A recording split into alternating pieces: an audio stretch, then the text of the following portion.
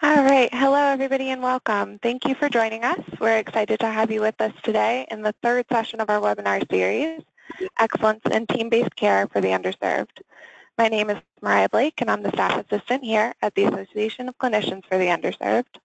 Today's program, Preventing and Eliminating Burnout in Practice, will be presented by Dr. Eileen Barrett of the University of New Mexico's Department of Inter Internal Medicine. We just have a few quick housekeeping items to go over before we let Dr. Barrett take it away.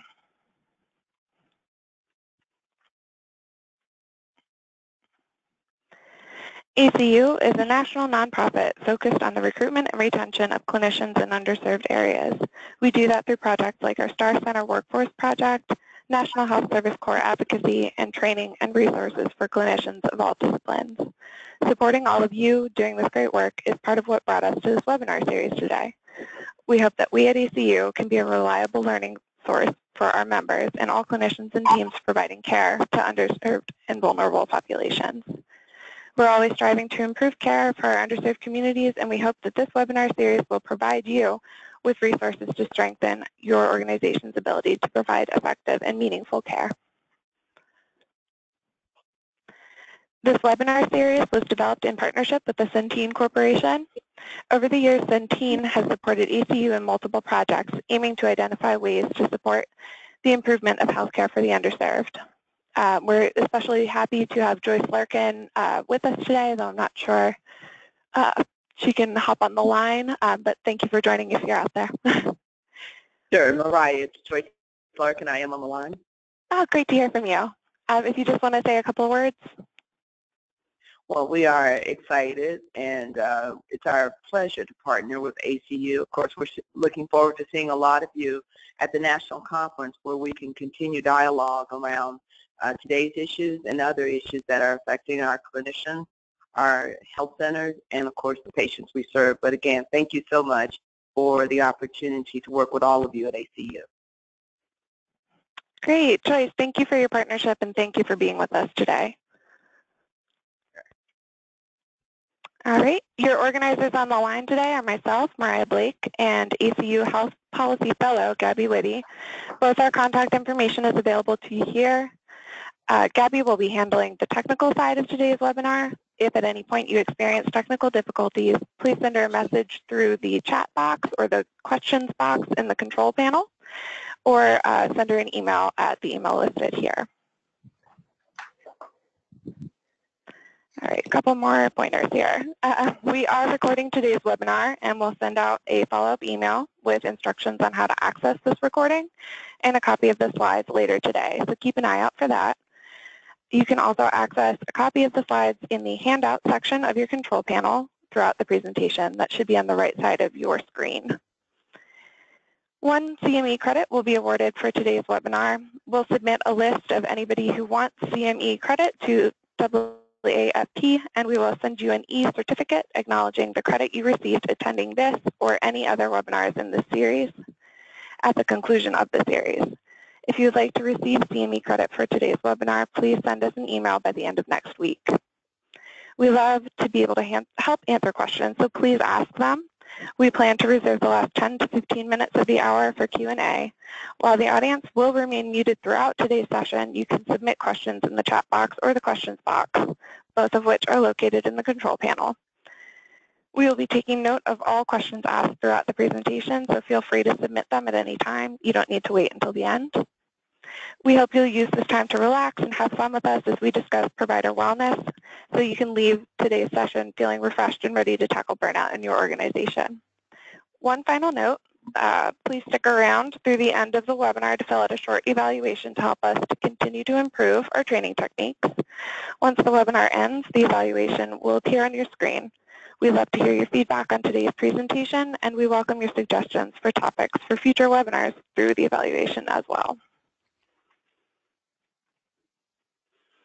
All right, we are happy to present this webinar with Dr. Eileen Barrett. Dr. Barrett is an assistant professor at the University of New Mexico's Department of Internal Medicine.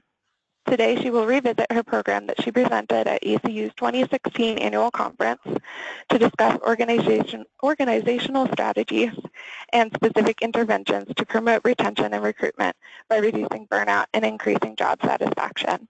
There will be several polls throughout today's presentation, so please stay engaged. We're excited to have Dr. Barrett back with us today, and now I'll let her take it away. Thank you so much, Mariah. I'm incredibly grateful and am so honored to continue to, to continue the or contribute to the good work that the ACU is doing. And I'm truly grateful for, um, for their leadership in this area and commitment to service.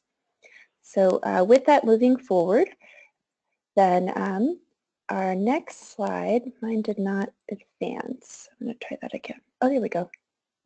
Here we are. Thank you.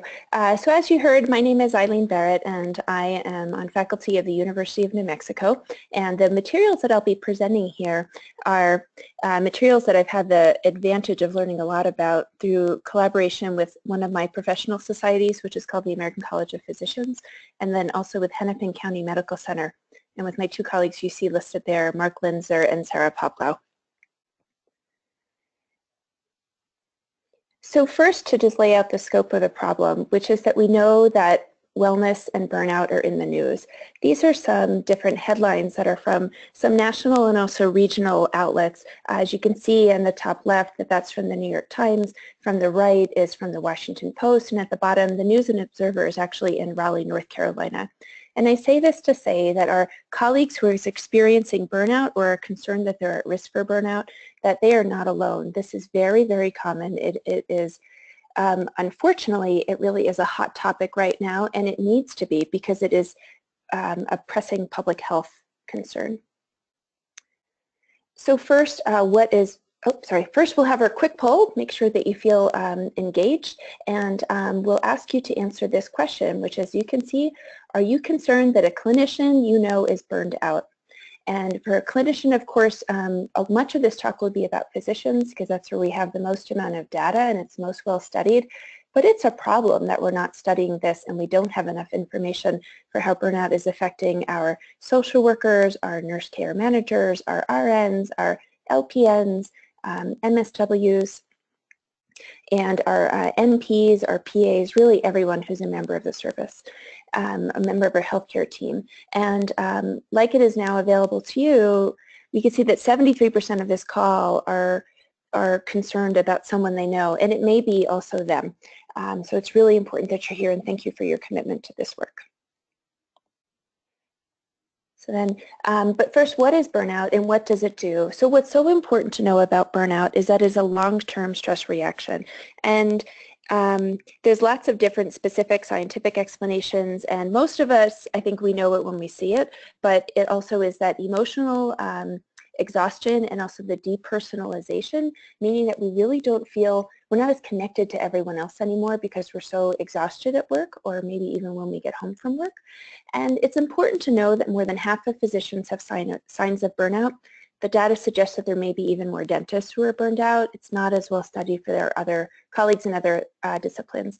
And what's important is that this number has actually increased in time. It was about 46% in 2012 most recent studies, it's closer to 52%. We do know that burnout, it does affect quality of care. And I think that it does make sense that it can cause depression. And as we know, depression can also cause suicide. Um, so it's really important that we do this work. We do know that more women physicians than male physicians are affected by burnout. Um, possibly more male nurses are, have burnout than female nurses. We know that it undermines the doctor-patient relationship. It probably affects all the other provider uh, and clinician-patient relationships in the same way that we knew it know it does for physicians. And that I hope that what by outlining this as something that is common, that affects quality of care, that affects our mental health, our personal health, and that is widespread, that you will um, believe me that this is an emergent health, health, public health threat, and it is not a personal failing in any way. And in fact, if we saw that something that we knew to affect quality of care and personal care was affecting so many people, we would probably have um, we would probably have a similar response to the way that we did for things like pandemic flu. And so we really need to think about burnout like that, something that needs a very systematic, uh, systematic solutions. So with that, um, um, I mentioned briefly about burnout, how we usually know it when we see it. This is a quote that I saw that was in the magazine called The Atlantic. And it's from uh, Dr. Richard Gunderman, who is a radiologist. And as you can see there, but for those who may be multitasking, then I'll read it. And what it reads is that professional burnout is a sum total of hundreds and thousands of 20 of tiny betrayals of purpose, each one so minute that it hardly attracts notice. I think that that resonates with you the same way that it resonates with me. And I think that it speaks to uh, the reason why we're here, but um, also how it really is the product of things that take us away from our commitment to care of the patients. Um, so I want to ask you first, before we move forward, um, your answer to this question, which is that um, the statement of burnout in medicine, nursing, dentistry, social work, and similar caring professions is inevitable. I'd like to hear your answer for that because that's what we're going to spend a lot of time on. Sometimes we worry about things like compassion fatigue, and those are very similar constructs as burnout, but it's actually a little bit different. So let's weigh in on that. And and it looks like, um, great. Uh, so over half of us believe that, um, that this is um, not inevitable, but it does look like a quarter of us um, think that maybe that it is. And I hope that you can see by being in this call and seeing the information and learning about the information presented here that, it, that, that we actually can predict burnout. We also can then prevent it. So I talked before about how um, uh, burnout is a long-term stress reaction, and I think we should really look to the scientific underpinnings of, um, of behavioral psychology. And this is um, one of the things that we talk about with job stress is what predicts it. And I think it makes sense. We've all felt it. And stress isn't always something bad. Um, stress is what helps us get out of bed every morning and take care of the kids and go to work and pay our mortgage. But what's really important to know, and I'm going to ask you to really buy into this, which is that demand and control predict job stress. And I think that that resonates and that will make sense to you, right? And when there are more demands, then it means that we're going to have more stress. But when we have more control, it offsets job stress. But importantly, that when we can support people, we can actually augment that power of having control over your workplace and control over your day. And that really means that control and support will relieve stress because they offset that pressure that we feel from demands that's why that scale is there, so we can understand that there's a balance. Um, but so first, when we think about supporting that idea of a balance, there's things that we can do that are um, to support wellness that are very personal approaches. First is that the term, if you've heard people say hangry, it's a term for a reason. It means hungry and angry. So we do have to make sure that we're eating, that we're eating healthfully, that we're um, staying well hydrated. I live in New Mexico where people are constantly dehydrated, but we're not the only ones. It's everyone who goes through their day and um, doesn't get um, enough time to be able to eat and drink. We do want to make sure that we have good sleep habits, um, that we're exercising, that we're talking with our colleagues. And um, we want to be careful that um, sometimes you do need to rant and there's some therapeutic value, but we want to make sure that we choose that carefully because we do know, do know that people who engage in negative spirals, it's hard to get out of that. But people, we also have the opportunity to engage in positive spirals. And in fact, in some research studies, people who are able to engage in a uh, positive spiral, those are uh, very resilient, um, happy, and non-burned out clinicians. Um, we also always need to have a chance to reflect with our colleagues on our care, on our workplaces, our lives, and also do our best to nurture resilience. So how do we nurture resilience? You know, of course, resilience is the ability to bounce back from something. Um, and it is not a value judgment, it's just a statement of fact. We need to do things to support our ability to bounce back. So one of those is knowing what our values are, know what we believe in. And again, this idea of our, that we are knowing our values, we are committed to them, and our lives reflect our values. And that includes in our clinical practice, but also at home. We also want to make, maintain connections. That's with our patients, with our colleagues, with our families, our friends. We want to practice mindfulness, which is that um, being uh, uh, conventionally people talk about that as being present um, and knowing that you can respond to something rather than react. We also want to be careful to um, exercise gratitude. Um, I worked with a, um, with a clinician when we were talking about this, and one of the things that in his family that they do is every day at dinner that um, their kids, they ask them to say five things they were grateful for that day. And I hadn't heard of families doing that together. I think it's beautiful. There also is some research that when um, people reflect very deliberately on things that they're grat- grateful for every day. That they, those people, if they do that every day, that they are happier people. And I think that that makes sense. And I also want to ask us all to avoid over-efficiency. I know that um, today I was coming to this webinar and on my way here, I'm almost at the car and I ran into a patient who needed me. So that over-efficiency um, had to stay with my patient. We all, we all know what that feels like, but we need to do our best that we can to sort of structure in to our days um, more um, wiggle room for the things that we know that come up. None of us can be 100% efficient all the time. So before we move on to the next sections, I will ask, we'd like to do another polling question, which is um, uh, uh, ask for this, that healthcare organizations, practices, and institutions can eliminate and prevent burnout by which of the following? And I'm going to ask you to vote for, uh, vote for these. And one of them is increasing support in your environment, increasing control over your schedule, enhancing your values alignment between the leaders and the individuals, reducing time pressure, or is it none of the above? I ask you to vote on those. And moving forward, and lots of people voted, thank you. And um, I am so grateful that there is no one who indicated none of the above because everyone here was correct, that we can do all of these things that can eliminate and also ultimately prevent burnout. Good job, team. So, see, and next slide. A little bit slow coming back from the polling question, and I apologize.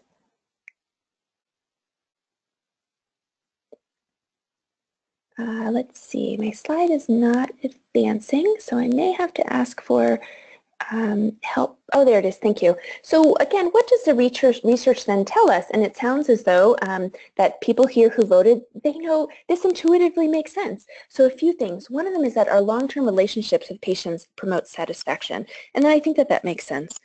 Also that um, how our work interferes with our home lives um, instead of complementing our home lives and our, uh, will strongly predict burnout and in fact actually strongly predicts someone's plans to leave their practice and indeed leaving the practice within 18 months. That is the most important factor.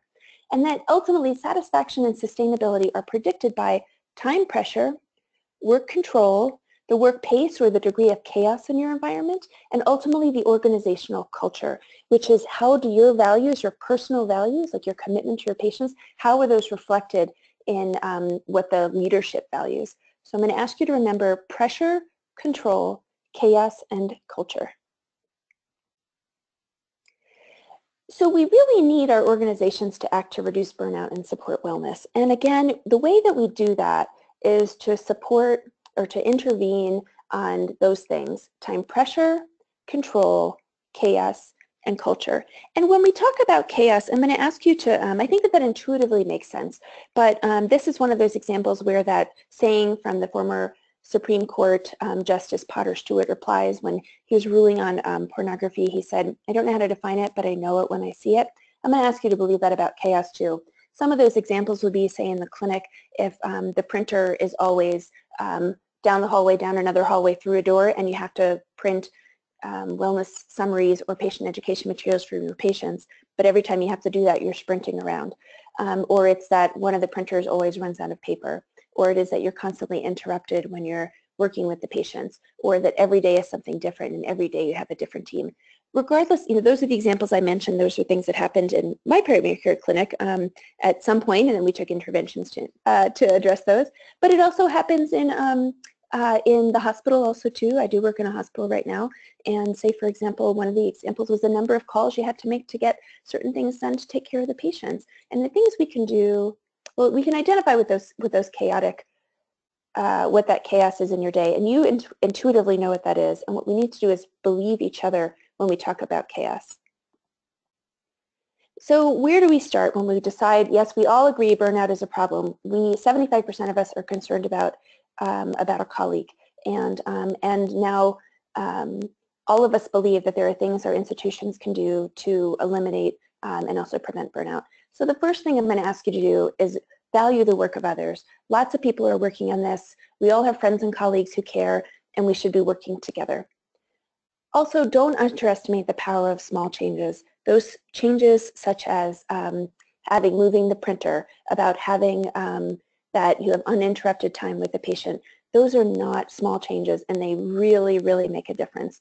Um, and also just always keep in mind that you can predict it, remedy it, and also prevent it. So very a specific tool that I'd like you to be leave with, if you remember nothing else from the things that I'll be talking about today, is I'd like you to go into your, um, open up your uh, uh, internet um, connection and, um, and search for stepsforward.org um, and look specifically for steps forward and burnout. And this is a module, and I don't get a toaster if anyone uses it. I was one of the faculty, and this is developed through the American Medical Association. It actually applies to non-physicians. It applies to practices in all types of environments, and it's free. Whether you're a member of the AMA, whether you're a physician or not, no matter what kind of colleague we are, the precepts here are the things that we're talking about on this webinar and that you can use to work with your colleagues. And this is a uh, this is a toolkit that has all the steps that you need.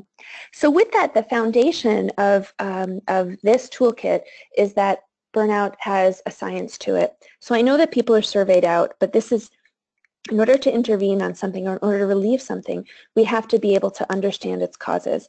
And every practice has different reasons why their providers are burned out when they have burnout. So when you hear the expression from um, in the Tolstoy novel in Anna Karenina, all happy families are alike and all unhappy families, they are unhappy in their own ways. I believe that that applies to our clinical practice too. People whose practice where it's working perfectly, it's completely different than the people who where it's not. And the challenges in my practice are different than the challenges in yours. So when we can study it, that's how we know where to act. So this is in that toolkit I mentioned. It's free. It's one page. And this is a great place to start. So what do you do when you have that information? So first you do is you work with your group and you administer the mini-Z anonymously. The best way to do this, of course, is to work in collaboration with your leadership in whatever level of group. So if you want to do it solely for your clinic or you want to do it um, uh, organization-wide, it doesn't matter as long as you have the buy-in of the leaders and you have the buy-in of your colleagues to give this a chance. And, um, and the way to give it a chance, if you want to use my slides and the information I presented before, having to do with the percentages of burnout and the adverse effects, please feel welcome to use this information. Um, so what you want to do is administer the mini-Z anonymously. I would recommend making sure that when you're reporting the results that the survey is always given to more than five people. Otherwise, you can kind of, you might be able to not, it'll be harder to ensure anonymity. Then you're going to want to compile them and report them. And again, it's only 10 questions, so that shouldn't be too much of a burden. And then use these results to determine where to start. And again, focus on the idea of time pressure, chaos, um, what's the culture like, meaning how are your personal values reflected in those of the leadership, and then also control, the control that you have over your day. Then what you do is you make, make those changes. You make them big and you make them small, and you reassess with the same survey, always reporting the results to everyone, at least annually and you just repeat as needed also too. And be sure that you celebrate your successes because sometimes people, um, it would be hard to remember what all the things that you did right in the group to take care of each other, what they were at the end of the year. Some specific examples that they'll talk about when you go to that um, Steps Forward module on burnout will be um, some things I'm going to highlight here. And again, there's a lot of talk about physicians here, but this applies to everyone in the team. So the first, first things having to do with what our organizations can do, one is just have protected time for reflection. We're in meetings, um, people have time to just reflect on what their day was like together and their collective challenges and rewards. Also, the time that people can have together. I know one of my friends who works um, on the remote um, Navajo reservation, I used to work there with her too, she started a, um, a meditation group and they would just get together on um, uh, once a week in a quiet part of the of the clinic and a group um, who were all volunteers, of course, they self-selected that they just did a quiet reflection and meditation. In my hospital, a palliative care physician and a palliative care social worker has started the same thing. Also do undergoing resiliency training. That's really important. That's the ability to bounce back and our organizations can take the lead in that. Peer support, I think, speaks for itself. We need to look out for each other. One way to do so is our organization structure that into our roles. I know that when I signed my contract, it said in my contract who was going to be my mentor. And when I was assigned a mentee, um, that, uh, that was in her contract as well too, so that we are, our job is to support each other. Also, I cannot overstate the value of having healthy foods whenever you have meetings. Um, there's actually some really good data that when our organizations um, promote healthy foods, we will make better decisions. And, um, and I think it intuitively makes sense that we all feel better when we have healthy foods. Um, and lastly, improving the physical environment. You know, there were some studies that were done in the 70s on patients who were in the hospital after surgery, and the people who were closer to the window, um, they had fewer needs for pain medications because they had less pain, and they also left the hospital sooner. So if the physical environment affects the patient so much, why wouldn't it affect us? Well, of course it does.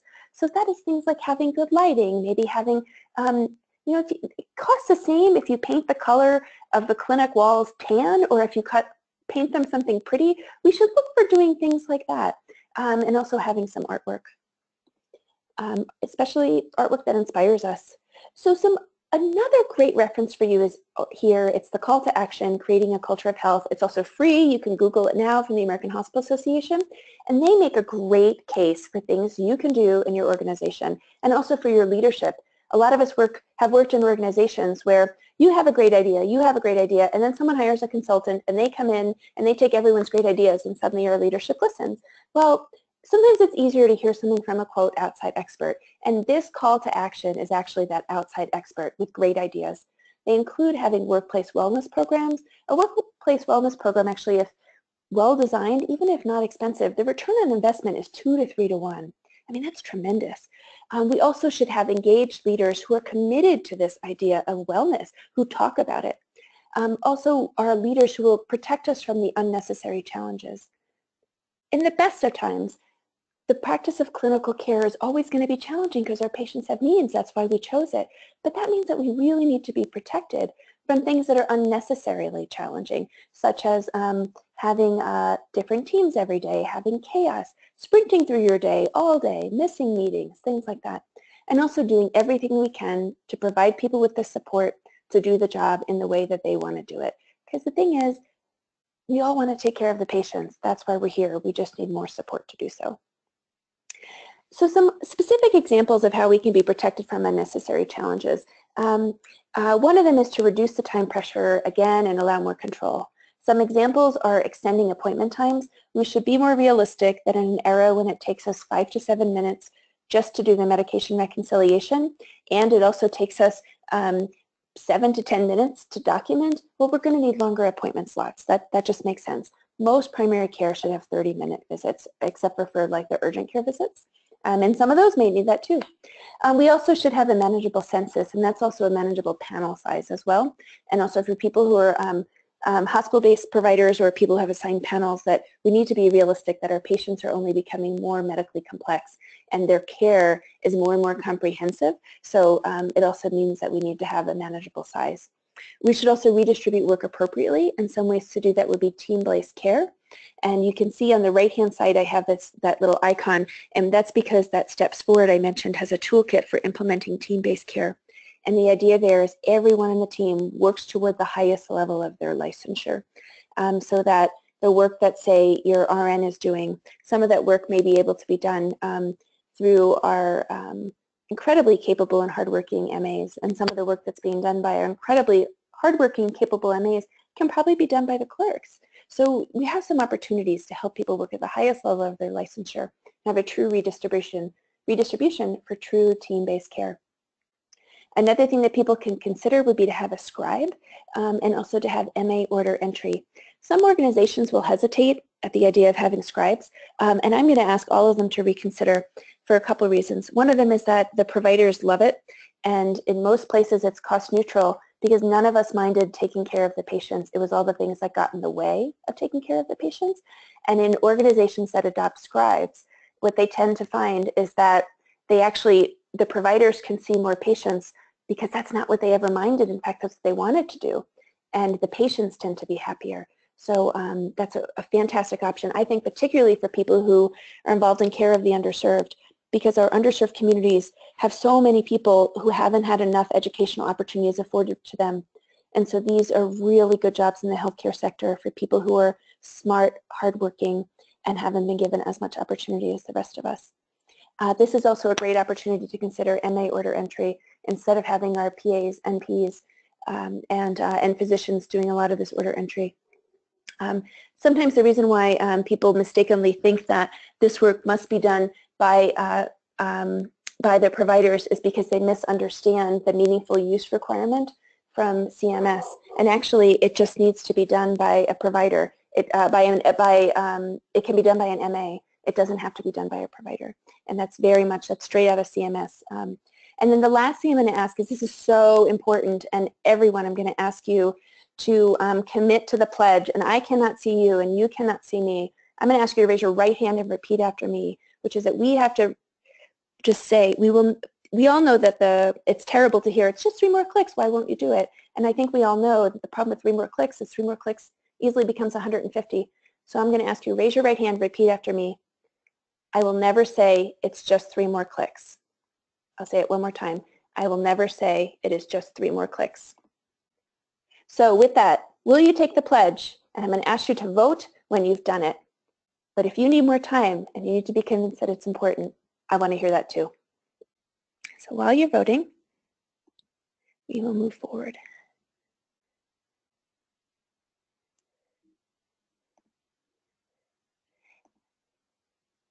Great. And so, um, um, okay, so we've got almost almost everyone, not everybody, and that's okay. Um, some people need more time. Well, then that's why we're going to keep going through the rest of this webinar. And to those 93% of people, I thank you. You are changing the world.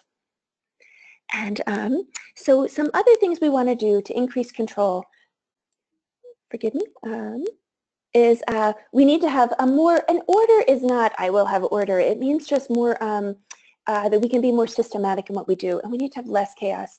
And some ways we can do that would be include would include having um, true teamwork and care coordination.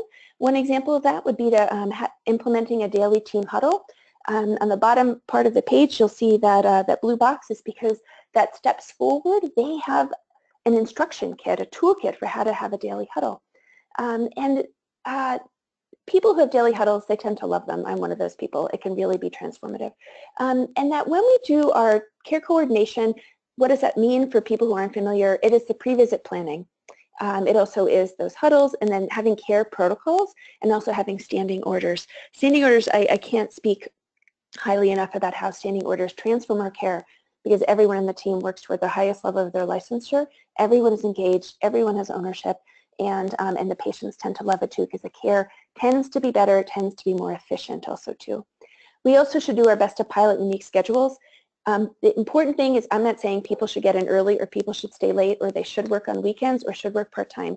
My idea is we need to have, or my, I implore you is have flexibility. I'll say that um, in my primary care clinic when I worked in um, evening clinic, I loved it. It wasn't for everybody. I loved it because um, because I would come in late that day. Uh, that would be my morning when I would always get a good long workout in, read the paper, run some errands, would come in for afternoon clinic and evening clinic. The evening clinic was, um, it was just quieter and, uh, and my patients loved it, my MA, my nurse loved it.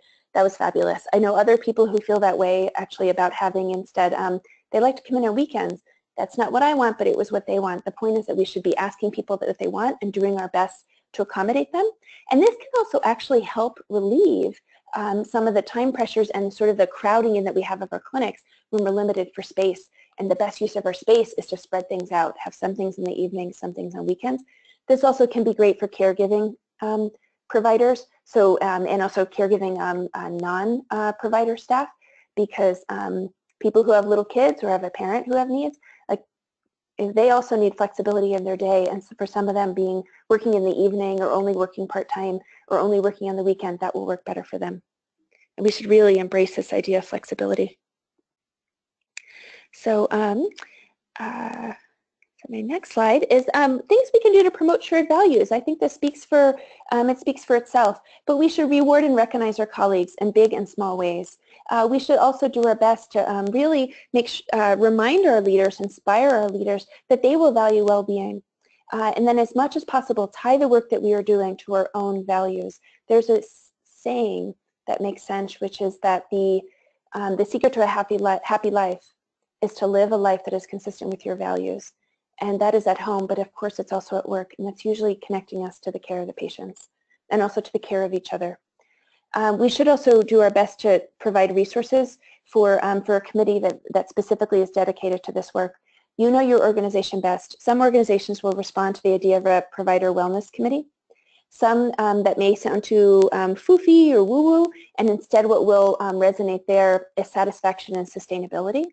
Uh, for some places, actually, instead it will be recruitment and retention, because as we know, uh, every recruiting problem starts with a retention problem.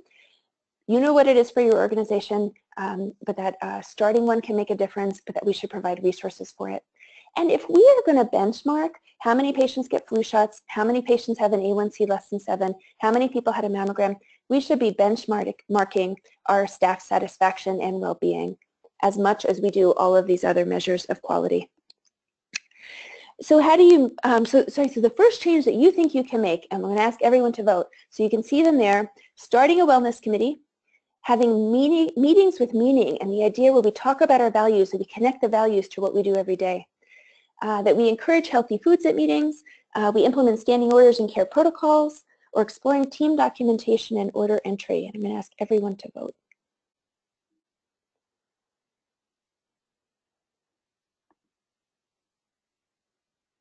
And we're getting our results. And um, so great. Lots of people, great ideas with the, um, with the diversity of plans moving forward. I commend you. Good for you. This is a fabulous, fabulous start. You are changing the world. So with our uh, next slide then. Um, so how do we make our case? Uh, earlier, there were about 7% of people felt like they weren't yet ready to say, yes, I'm going to take the pledge, and that's okay. But or you're someone who is in that I took my pledge that I will never say it's just three more clicks, and I want to start a wellness committee, or I want to have healthy foods at the meeting or I want to have our care protocols. How do you make your case for change? Because for some people, this is more intuitive than others, and it's not a value judgment. Um, and uh, first is that quality of care can suffer. There's robust information that adherence with preventive measures um, goes down when, um, uh, when uh, in practices that are more burnt out.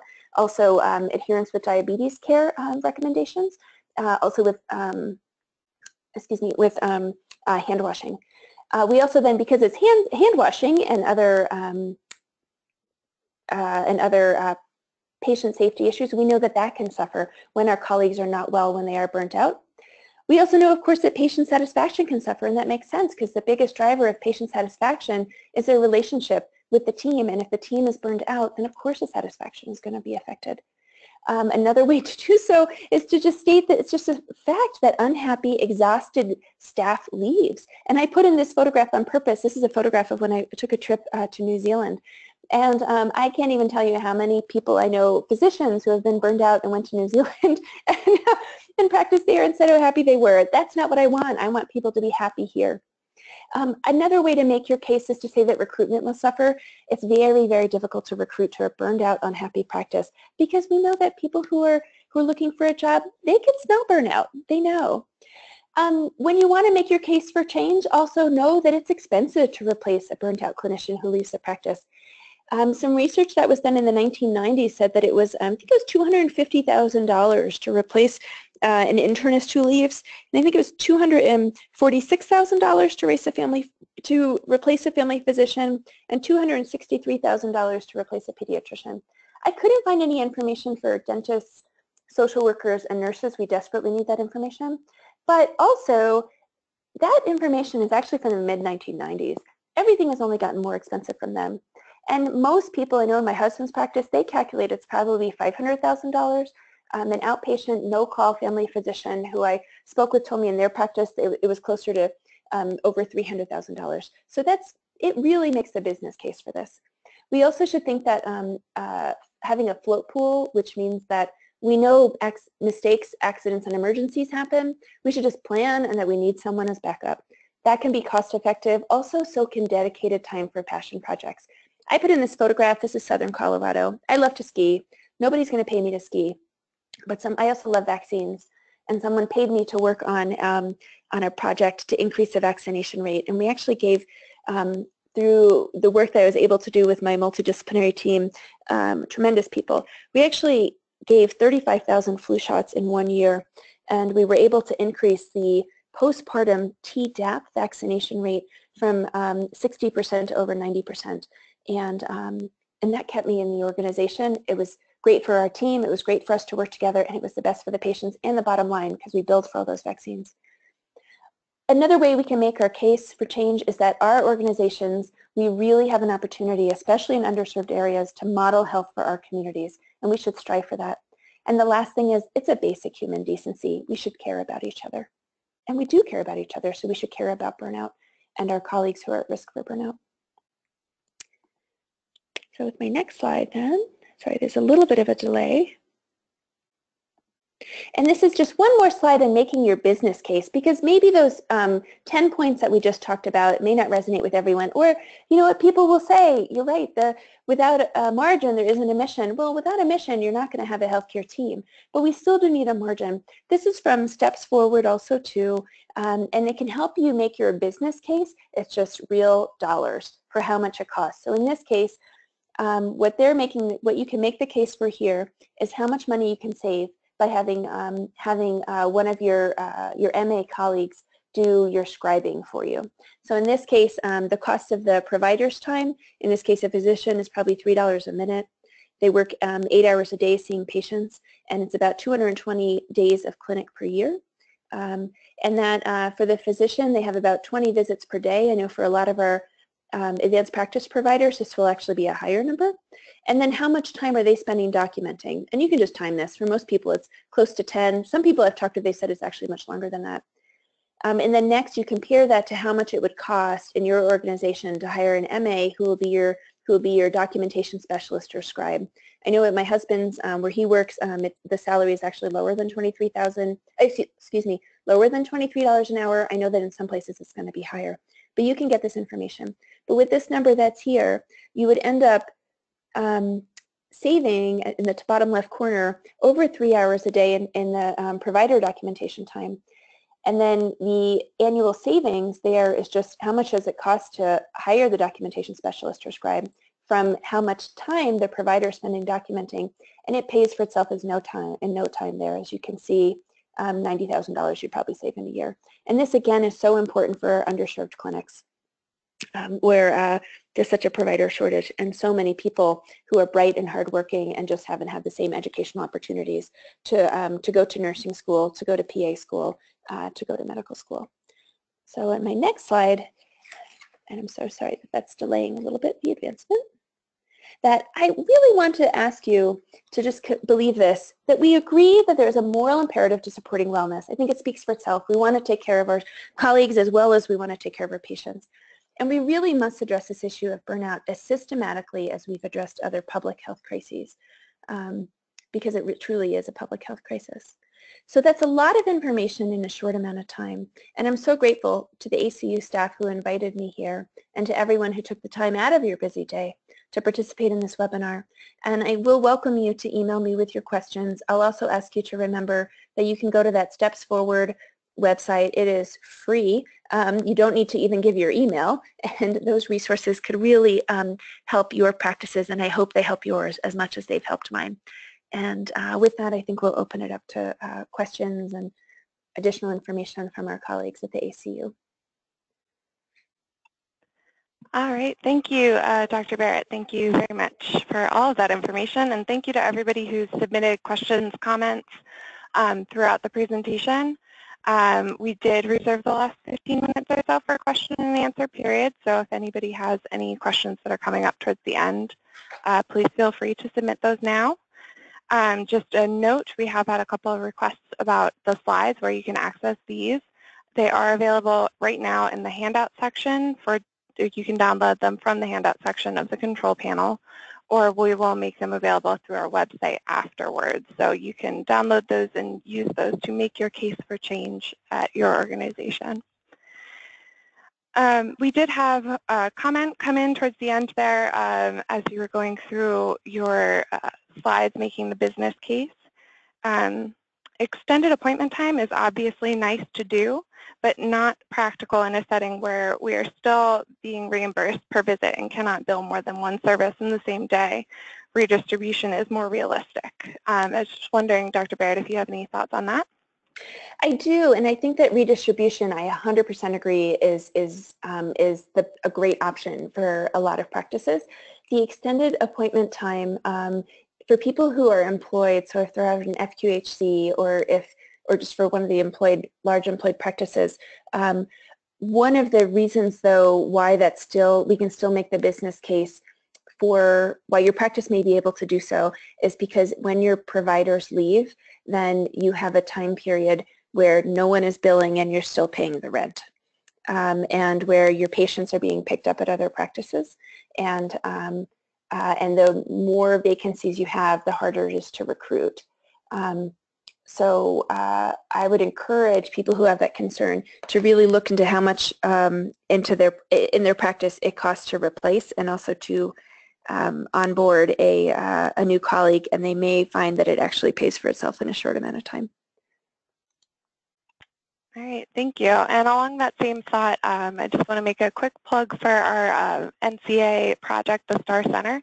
Um, we have a resource on there, the Financial Impacts tool, that will help you calculate a lot of these costs as well. If you want to head over to chcworkforce.org, um, we have a lot of resources like that.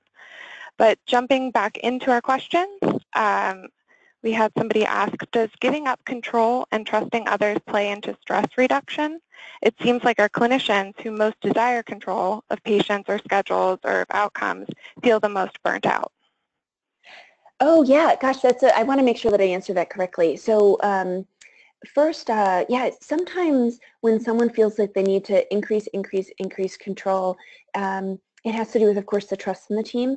It also could be a symptom that they are getting burnt out and they're afraid that they're going to miss something and make a mistake.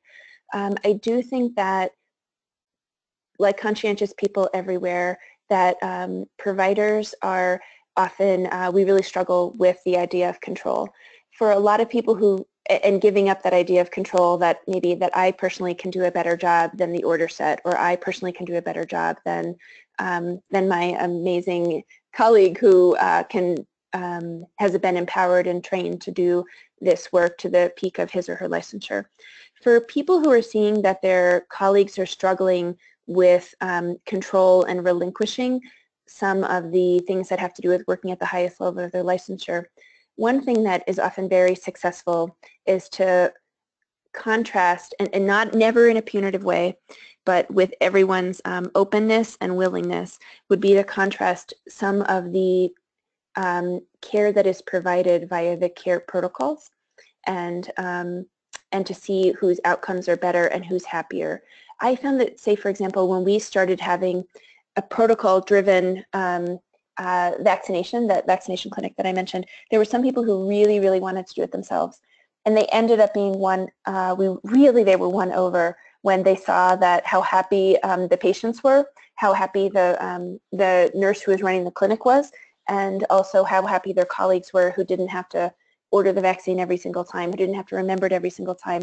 And, um, uh, and, and that really won over the last of, of the holdouts, I would say.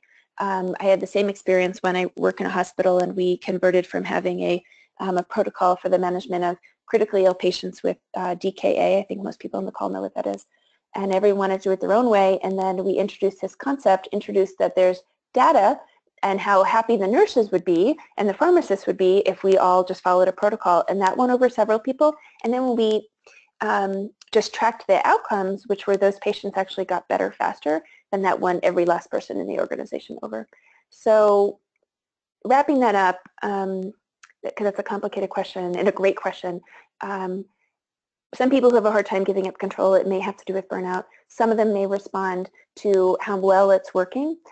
But we also should always look at, is it actually working? Because sometimes the reason why someone can't stop um, doing it themselves is because um, the system isn't working. So we always want to address that too. And maybe just ask those people what it is. That's the nice thing about that mini Z survey that I mentioned, that 10-point question, is because people will say in there what's working and what's not. And you, we may find out like, oh, we have this protocol, but actually no one's following it. And that's actually what we really need to, need to address is make sure that everyone feels comfortable with the protocol and that it's well written um, so that it's being followed and then um, the providers can give up control. Um, I hope that that answers the question that was asked. One of the things that's different about a webcam, right, is because then I can't see the person's expression, but I'll ask them maybe to send a clarifying question if, if there's one I can answer. Absolutely. Yeah, we're still welcoming any questions that anybody would like to send in as well as follow-up questions. Um, we did have one come in asking, how do you do a 30-minute appointment time but still see 20 patients per day? Are you including nurse and MA time in those minutes? Um, I, most of the practices that I know, it would be unusual for them to still see 20 patients a day is because then what they will do is then cut back on the sheer volume of patients that they're seeing. And then instead have that that in the 30 minute visit that more of the um, that uh, that some of that some of that some of those 30 minutes will overlap with some of the other 30 minutes uh, meaning that um, some much of much of the work that is safely and usually done better um, by the non um, provider team members is also being done while you're with the patient. So say for example, so first is one is um, usually then it's a fewer, a smaller number of patients that are being seen. Um, and, uh, and that of course can pay for itself with the idea that your, then your team isn't leaving the practice. Um, and for people who are resistant to do that, do that, I understand, but then at least that what they can start with is having giving providers the flexibility to um, choose patients who will get 30 minute follow-ups instead of 15 or 20 because we all know that a follow-up is uh, uh, two follow-ups can be very very different. One of them is for someone who's got a ton of medical problems and also a lot of maybe um, um, social issues that we want to address versus some of the patients who just don't have um, as many medical problems and that they can be the shorter visits. So we just need to have the flexibility Okay. Our next question here: um, Is there any funding available to do further studies as well as pilots for other clinician groups? Did you have any funding for your organization? Uh, oh, good question. So the second one is no, no funding from anyone else. Um, let's see, in my organization, we did things very much, um, I've only ever worked in the uh, safety net, um, probably like everyone on this call, and there is very limited funding. And so that's where the role of really valuing even small changes starts. Um, so say, for example, when I described um, how we did more care protocols, um, there was no extra funding for it. Um, it was more of working with teams together, which was great because what do I know about what an MA needs to know? I trusted my MA to know what, what she or he needs to know. And the same thing with the RN and the same thing with the pharmacist. So we developed things together and implement them together and troubleshoot them together. Um, and, uh, and did them in, um, in small, bite-sized um, uh, quantities. Um, as far as funding, there probably some resource that would come to mind for me would be that um, looking through um, AHRQ for small for small grants. Also probably from other larger healthcare organizations that may wish to participate in a, in a pilot um, to help improve care. Um, oftentimes, again, if we can show that we can tie it to either improve patient care, uh, improve retention, um, and uh, decrease turnover, then um, then often people are then often it pays for itself, and uh, and so more funding opportunities will be available when we tie it to those things. Okay, thank you. And could you expand on the peer support contractual agreement you mentioned earlier? Have you seen positive results? In what ways are you obligated to support each other? Oh yeah, great question. So that's going to be different at different organizations. I know at Brigham and Women's they have a very highly structured one that includes that you have um, specific training also in peer support and how to just listen for two minutes straight. You're not allowed, it, it's really interesting. I hope everyone can consider doing this at some point where, where you are in a group of people and you pair up with another person and they tell you a story about some, maybe a patient who changed them. And, and, you, and you don't listen to ask a question. You just listen to listen. And um, and so we're, we're taught better listening skills and the other person can uh, feels it's different and you do too. And the idea there is small interventions can make big differences. Um, but in this case, so at the Brigham, they do that and, uh, and they tie, they uh, pair you with another person and, um, and give you reminders um, about, about times to meet.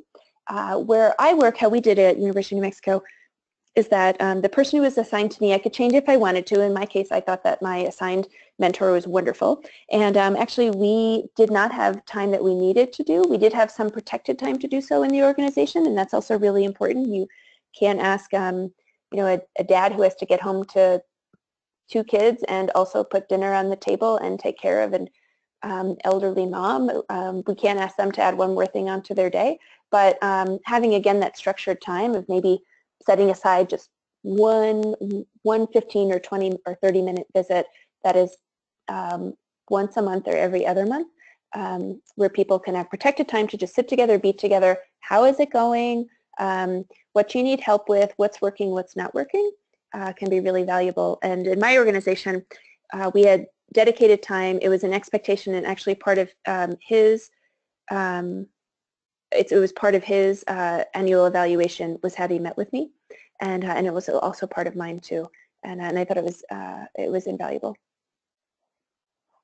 But, but it doesn't even have to be a giant structured program. I think that even taking 15 minutes out of different meetings that we have to ask people to turn to the person next to them and talk about a patient who changed them or talk about a challenge that they had and the other person just listening would also be a really valuable endeavor. All right, all that's ringing some bells here. Uh, we actually have a webinar on the Star Center site also about stay interviews and that process of checking in with your team um, to avoid burnout. So that's really great. Oh, fabulous. All right, um, we've got a couple, like time for a couple more questions here. Sorry, they're piling up. um, what role does EMR play in burnout? Oh my goodness, yeah, it, it's very, you know, it's not the only thing. Um, I know why it feels like it's the only thing, but it's not. And there's lots of people who are study this in ongoing studies. So um, I think that the biggest thing about the way a lot of our EMRs are structured and the, a lot of the ways that we have been asked to interact with our EMRs is that it gets between us and our values, and our values having to do with the ability to connect with our patients. So some ways that, um, so it absolutely, how your EMR affects your ability to be connected to your values and how it adds um, to your time pressure um, and how it affects your, how it creates work-home interference, the idea that your work affects your home life more. Um, all those things will predict how your EMR and determine how your EMR is affecting your burnout um, or whether it will cause burnout or will reduce your burnout. Um, some ways that we can try to mitigate how our EMRs um, uh, get in the way of our home life, um, our connection to our values, our connections to our patients would be through um, uh, honestly through uh, scribes, um, team documentation, MA order entry, and also more care protocols. I, I, can't overstate the value of um, care protocols are free. Hiring a scribe I know takes time, um, but uh, an MA order entry requires also training.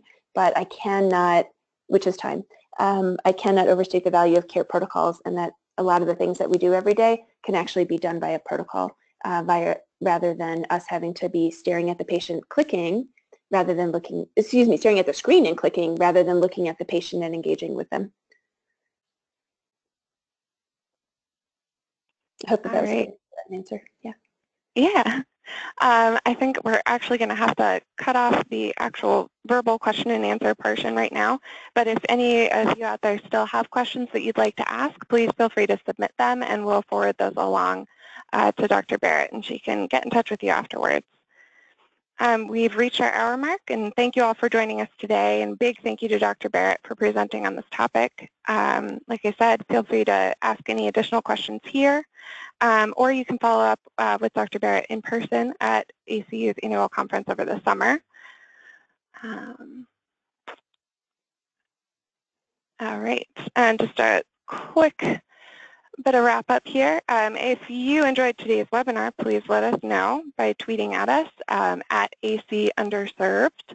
Um, we're also on Facebook, um, but if you're still on Twitter, please use the hashtag ACU webinar series um, to collect some of your responses there.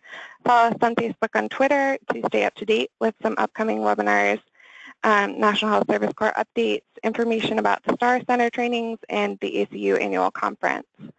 Um, this presentation was uh, one of the most popular sessions at our conference last year, and it's a great example of the type of sessions that you will see at our upcoming conference this summer, um, which will be held in Washington, D.C. at the end of July. ACU members can register for the conference at a discounted price until June, so make sure you do that. And if you're not a member, you should be. Check out our member benefits and more information about the conference on our website clinicians.org.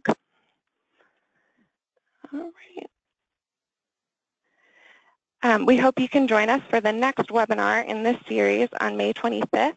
Melissa Ryan, Operations Director of Policy and Shortage Designation at the Bureau of Health Workforce at HRSA, will present on key principles of shortage designation. Many state and federal programs use the health professional shortage areas designated by HRSA's Bureau of Health, Health Workforce to make eligibility and funding decisions. This session will provide an overview of the types of HPSAs and HPSA designation criteria and how HPSAs are scored. Head over to our website, clinicians.org, for more information. Again, thank you so much for joining us today. Please stick around to fill out the evaluation that will pop up on your screen shortly, and stay tuned for information on how to access the recording and slides from this presentation. Thank you. Have a great day.